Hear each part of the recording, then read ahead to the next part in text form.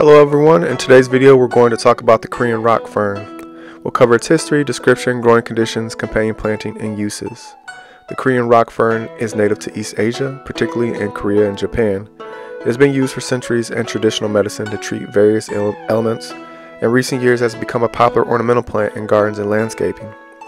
Korean rock fern is a slow-growing evergreen fern that typically grows to a height of 12 to 18 inches and a spread of 18 to 24 inches. It has glossy dark green fronds that are finely divided and have delicate lacy appearance. The fronds emerge in a tight clump and gradually spread out over time. In the fall, the fronds turn bronze, adding a beautiful touch of color to the landscape. Korean rock fern prefers moist, well-drained soil with a slightly acidic pH. It thrives in partial to full shade and can tolerate a wide range of temperatures from cool to hot. It is also tolerant of drought, making it a low maintenance plant for your garden. However, to keep it looking its best, make sure to water it regularly during the growing season.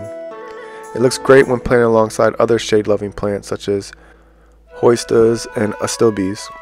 It can also be used as a ground cover in woodland gardens, rock gardens, or as an accent plant in containers. Korean rock fern is primarily used as an ornamental plant in landscaping and gardening.